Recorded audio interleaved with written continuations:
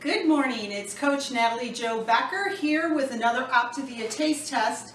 This morning I'm going to try Indonesian cinnamon and honey hot cereal with chia seeds from Bolivia, quinoa, and whole grain barley.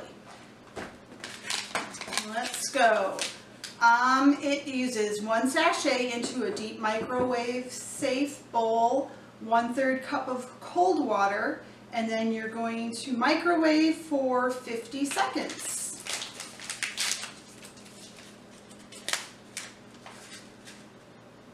Once again, you can see the chia seeds and the grain in there. Smell of cinnamon. One third cup of cold water.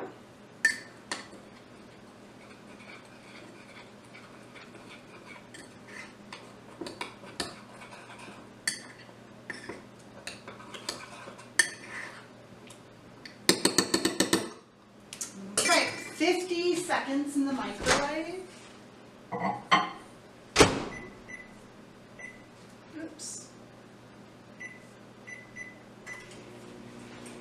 Go.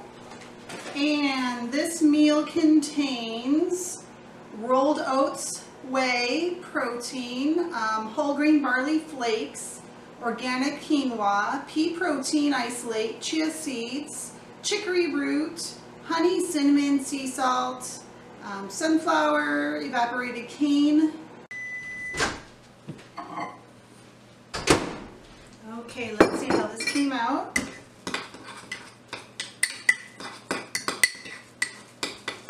Stir it cool it down a little bit so I don't burn my mouth.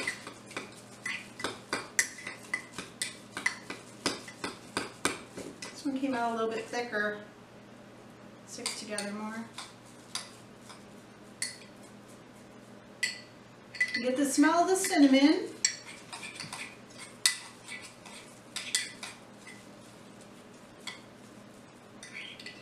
Let's face it.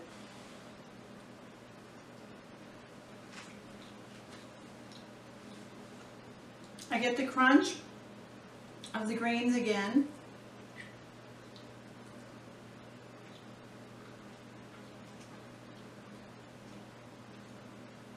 It's not very sweet. I taste cinnamon. That's really the only thing I taste and it's not very strong. It's kind of bland. I do like the crunch of these um, these hot cereals though. I think I prefer the blueberry.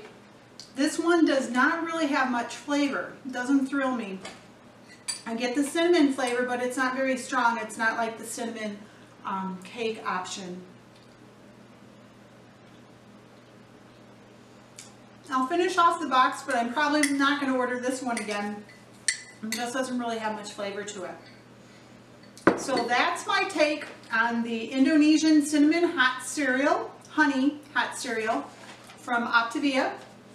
Please let me know what you think of it. Maybe you really love it or maybe you hate it. Put your comments down below in the box and let me know what you think. And once again, I'm the health coach, Take Shape for Life health coach, Natalie Jo Becker.